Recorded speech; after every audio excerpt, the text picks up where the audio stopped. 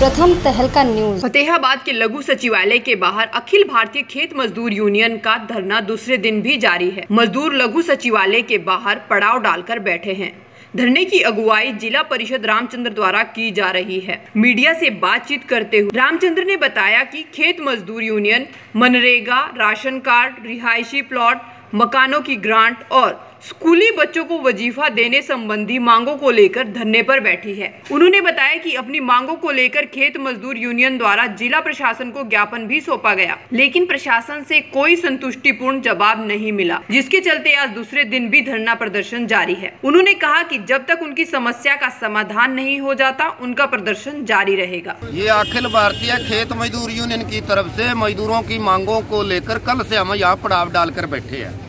जो कि नरेगा का जो काम है, उसके सौ दिन पूरे नहीं करवाए जा रहे। बड़े पैमाने पे भ्रष्टाचार किया जा रहा है। बुज़ुर्ग बैठे हैं, गरीब परिवारों से सत्तर सत्तर साल के बुढ़ापा पेंशन नहीं लगाई जा रही तरह तरह की शर्तें लगा रखी हैं। मकान मरम्मत की ग्रांट है जो जायज़ आदमी उसको नहीं दी जा रही।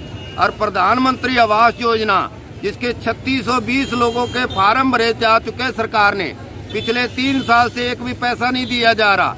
इन सब मांगों के लिए मनरेगा के मजदूर यहाँ सारी मांगों के लिए अपने बैठे और पीले गुलाबी राशन कार्ड के नाम से सरकार ने जो ऑनलाइन सिस्टम बनाया 500 लोगों में दो लोगों को बीपीएल में शामिल किया जा रहा है और ये साबित हो रहा है कि ऑनलाइन के नाम से गुमराह किया जा रहा है।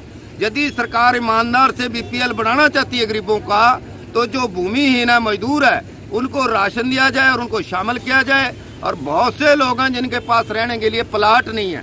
और वो गाँवों में बिना प्लाट के, बिना मकान के रह रहे हैं। उनके लिए, प्लाटों के लिए यहाँ पर लोग बैठे हैं और कल प्रशासन से हमारी बात हुई थी।